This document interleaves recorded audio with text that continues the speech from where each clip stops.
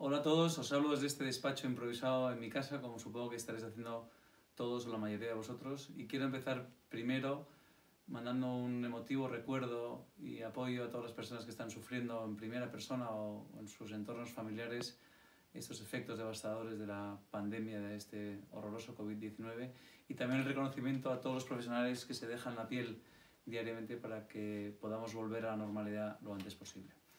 Y yo simplemente quería destacar tres aspectos interesantes que están ocurriendo en este tiempo, en estas seis semanas, cinco semanas de confinamiento. El primero, el agradecimiento especialmente a, a, los, a quienes forman parte de Advalor, también a las empresas que han colaborado, proveedoras nuestras, para que podamos hacer una transición mm, muy tranquila de trabajar en la oficina, trabajar cada uno de nosotros desde casa. Somos 37 empleados, estamos en cinco o seis eh, países distintos. Tenemos una oficina en Londres, pero tenemos algún empleado que ha vuelto a su país de origen, Holanda, eh, Portugal, Estados Unidos, por supuesto que los ingleses. Y la verdad es que todo se ha hecho con absoluta normalidad y hoy podemos decir con tranquilidad que estamos trabajando al 100% desde el punto de vista operativo. Y también a nuestros clientes que nos han acompañado, como siempre hacen, y nos han apoyado en estos eh, momentos de incertidumbre, en el que además los mercados pues, han sufrido enormemente y como siempre pues nos han apoyado y nos, nos han eh, seguido en este, en este camino difícil en estas últimas 5 o 6 semanas. Y prueba de ello, los números al final eh, hablan, es que hemos hecho el mayor número de operaciones desde que, en, en 6 semanas desde que Advalor está funcionando. Hemos hecho concretamente 1.600 aportaciones nuevas a nuestros fondos de inversión. El segundo, también destacar un aspecto positivo dentro del respeto a todo el sufrimiento que estamos viviendo, y es pues una forma de trabajar distinta, salir de nuestra rutina, de nuestra zona de confort y abrir un poco la creatividad y a pensar nuevas formas de trabajar. Nosotros seguimos reuniéndonos a menudo, eh, concretamente lo hacemos diariamente por las mañanas para marcar una hoja de ruta, para ver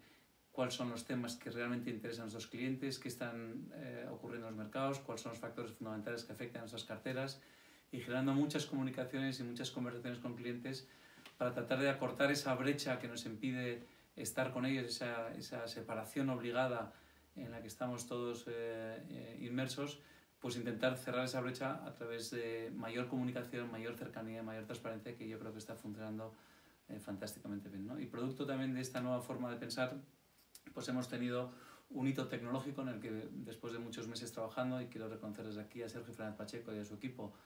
eh, hemos conseguido completar todo el proceso de alta operativa digital, de tal forma que alguien que quiera ser cliente de Advalor, pues curiosamente desde el día 15 de marzo ya lo puede hacer sin necesidad de, eh, eh, hacer eh, el proceso presencial en nuestras oficinas. ¿no? Y, y, el, tercero, el tercer punto, digamos, es pues, el, la fenomenal colaboración con los medios de comunicación, como puede ser Fans People, tanto los especialistas como eh, los generalistas, pues eh, que yo creo que es un proceso importantísimo de transmitir a nuestros clientes y a la sociedad en general una foto correcta de lo que está ocurriendo. Eh, y eso, pues eh, en circunstancias tan complicadas como la actual, creo que se está consiguiendo y nosotros luego nos sentimos muy apoyados y muy cercanos y muy arropados por todos los medios de comunicación.